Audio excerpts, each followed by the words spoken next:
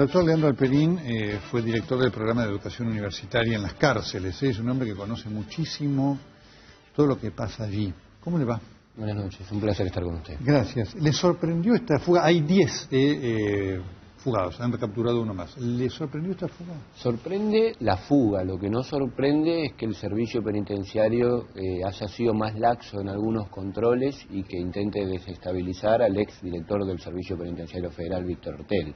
Eso, ya con la fuga de los dos represores hace algunas semanas, se veía venir, las cárceles están más duras en, en los últimos meses, hay más muertes que antes, hay más violencia que antes y la violencia siempre tiene causas y el que tiene la obligación de prevenir la violencia en contextos de encierro es el Estado y cuando la violencia llega el responsable de las consecuencias también es el Estado. Eh, yo no conozco, vi el agujero que parece increíble que por allí pasara una persona, digamos, pudo haber pasado por ahí una persona en ese agujero de 40, 50 centímetros. Mire, yo soy delgado, creo que por un agujero de 40 por 20 no paso. Eh, la verdad es que no sé cómo se, fueron por ahí tantas personas, pero de cualquier forma, un túnel de esas características hecho en 48 horas, poder perforar el concreto y que el servicio penitenciario no se entere, ni que los presos se van, ni que las herramientas ingresan, es un penal de máxima seguridad, es uno de los penales con más controles en el país. E, era uno de los penales más, más seguros que nuestro país tiene, fue inaugurado en el 2001 con estrictas medidas de seguridad para presos de los más peligrosos y desde ese penal se van 13 presos, yo entiendo que un preso quiera recuperar su libertad, por las buenas y a veces por las malas. Lo que no es explicable es que el Estado no haya tenido todos los controles de manera eficaz para que esto no pase. Usted eh, eh, sustenta la teoría de que hubo algún complot o algo contra Ortega. Yo creo que Víctor Hortel no se va por lo que hizo mal. Uno puede cuestionarlo de batación militante, no que ingrese gente a trabajar en actividades culturales, sino algunas salía con presos que no estaban en condiciones de poder hacerlo. Pero también Víctor Hortel produjo avances significativos en materia de derechos humanos y de transparencia hacia el interior de las prisiones. Creo que Víctor Hortel se va por lo que hizo bien, no por lo que hizo mal. Ahora, Marambio no lo habían como echado o algo por el estilo, a lo mejor yo estoy mal informado, no tengo idea de cómo, pero había había sido removido de ese cargo para ser reemplazado por Ortel. Marambio fue removido en el año 2011 luego de un conflicto que duró aproximadamente dos años con los organismos de derechos humanos a quienes no permitía el ingreso, salvo a los que no cuestionaban, para que no informen lo que pasa en las prisiones, con la Procuración Penitenciaria, que es el organismo de control de lo que sucede adentro, a quienes no dejaba ingresar al personal para que registren lo que sucedía, porque no quería que, que lo controlen, de hecho intentó poner como procuradora penitenciaria a una amiga personal de él para que lo controle una amiga, algo que no suena lógico, y por otra parte había cerrado el centro universitario en Villa Devoto con el argumento que los presos delinquen en el interior de las prisiones.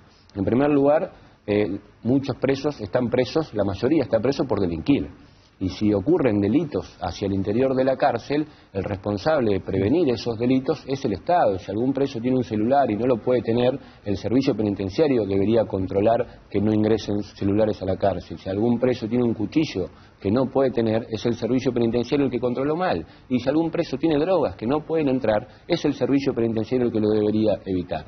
En ese momento el doctor Maramio responsabilizó a la Universidad de, Buenos Aires porque sostenía que algunos estudiantes delinquían en las prisiones. Y atrás de eso, eh, cuando él sostuvo que la universidad era parte de la enfermedad, lo que decidió es matar al enfermo. Y eliminó la universidad durante un tiempo, eliminó la universidad del centro universitario en Villa Devoto, trasladó compulsivamente presos, eh, bueno, y hubo muchas cosas más, todas reñidas con la legislación vigente. Esto desencadenó en la salida de él en el 2011, lo corrieron a la Subsecretaría de Gestión Penitenciaria, cuatro meses tardaron en encontrar un reemplazante, ese fue Víctor Hortel, y Víctor Hortel vino con una impronta nueva, lo que significaba que el subsecretario de Gestión Penitenciaria no podía eh, estar en una sintonía diferente a la del director del, Servicio Penitenciario Federal y lo sacaron de la Subsecretaría de Gestión Penitenciaria. Evidentemente lo escondieron en un, en, un organismo internacional. Surgido este problema, pareciera ser como que algunos crearon el problema para venderle una solución al ministro de Justicia, ¿no?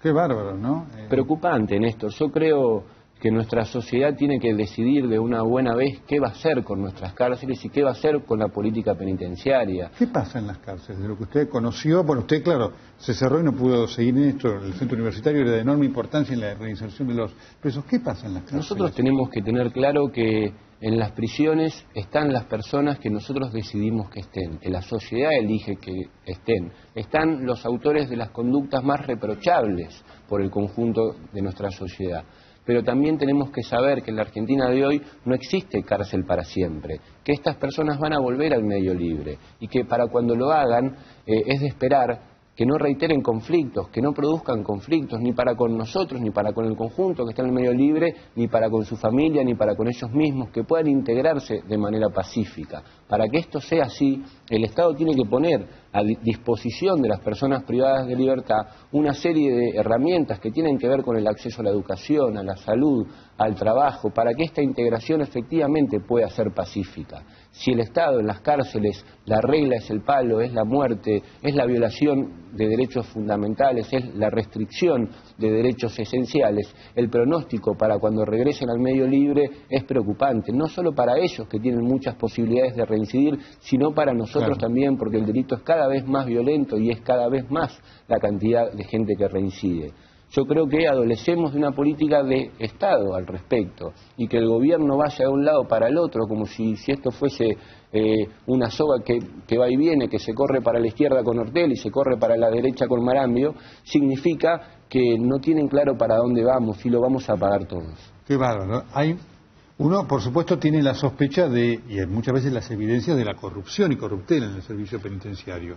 Bueno, cuando usted ve que ingresan elementos que pueden producir un boquete en una cárcel para que 70 metros más tarde salgan algunas personas privadas de libertad, evidentemente fallaron los controles y si fallan tantos controles, eh, por lo menos hay desidia, pero también hay corrupción, ¿no? Eh, la misma corrupción que hay en el Estado, el servicio penitenciario es una organización oscura, por supuesto que hay mucho personal que trabaja con mucho esfuerzo para hacer las cosas bien, pero los que son amos de la vida y de la muerte en las cárceles argentinas me parece que están en el bando contrario y lamentablemente, Néstor, creo que están ganando los malos en esta historia. Qué bárbaro. La impresión a mí me, impactó viendo la foto, no lo conozco el penal, esto de que hicieron 30, 40 metros a campo traviesa con total comodidad, ¿no?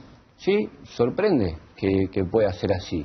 Eh, es un penal que debería ser, eh, que en, donde hay cámaras, en donde hay unas torretas con centinelas. Que, que faltaban los sensores porque Moreno no dejó la, importación, pero uno supone que al margen de eso hay otras cosas, ¿no? Hay unas torres muy altas con centinelas, hay tejido metálico, hay cámaras las 24 horas en los pabellones, hay cámaras las 24 horas funcionando en los alrededores del penal. Eh, no es solo una cosa que no dejó ingresar Moreno, tiene que haber fallado todo el sistema de seguridad para prevenir hechos como estos. Me parece que lo que sucede es que precisamente lo que se, buscaba con estas acciones es esmerilar el actuar de un, director nacional para poner a otro. Eh, y después las formas en las que se hacen dependen del penal. Evidentemente esto iba a llamar la atención de la opinión pública, lo lograron, Víctor Hortel cayó y lo peor volvió. Qué fuerte esto. Eh, el tema que usted pone de manifiesto es crucial. Obviamente en la República Argentina tenemos un problema de inseguridad muy fuerte, tanto por los que no han sido, los que delinquen, sino han sido condenados y demás, por cuánto, ¿qué pasa con el que sale hoy de las cárceles? Bueno, yo creo que lamentablemente nosotros tenemos una disputa hoy entre la doctrina que yo llamo de cárceles tranquilas versus las sociedades seguras. Eh, el gobierno busca con la designación de Marambio calmar las cárceles, porque lo que se podía venir eh, era importante, era conflictivo. Lo que pasa es que la paz en la cárcel no se está consiguiendo con educación, con trabajo y con salud. La van a querer conseguir con garrote, con extorsión a los presos, con cercenamiento de derechos. Y eso no garantiza sociedades tranquilas, va exactamente en el camino contrario, lo que nos garantiza son sociedades cada vez más peligrosas, donde los ciudadanos nos vamos a tener que refugiar en nuestras casas, los que puedan pagar seguridad privada lo van a tener que hacer, y al mismo tiempo lo que preocupa es el grado de violencia institucional, porque el servicio penitenciario es una fuerza de seguridad representante del Estado y lamentablemente las fuerzas de seguridad no tienen control de parte de la política, están autogobernadas y cuando las fuerzas de seguridad se autogobiernan, los ciudadanos estamos en riesgo. Creo que es imprescindible el acuerdo de los partidos políticos, de la sociedad civil, de las universidades para decidir qué vamos a hacer con la seguridad y con la inseguridad, de qué manera vamos a dar lucha sin cuartel al delito y de qué manera vamos a afrontar el fenómeno de la delincuencia y de qué forma fundamentalmente, Néstor, vamos a construir una sociedad en donde nuestros hijos puedan caminar por la calle en paz. Doctor Peri, muchas gracias. Es un placer para mí estar con usted. Muchas gracias. Eh, es tan profundo esto que forma parte de este debate pendiente eh, y esta asignatura pendiente de toda la dirigencia política argentina. El tema de la inseguridad es un tema de prioridad absoluta, de exigencia de acuerdos políticos perdurables, serios eh, y acciones múltiples, sociales, eh, educativas y también en las cárceles. Esto viene faltando hace 30 años en la Argentina. Yo no sé cuánto más deberá pasar para que cambie. Es una pregunta que solamente el tiempo responderá.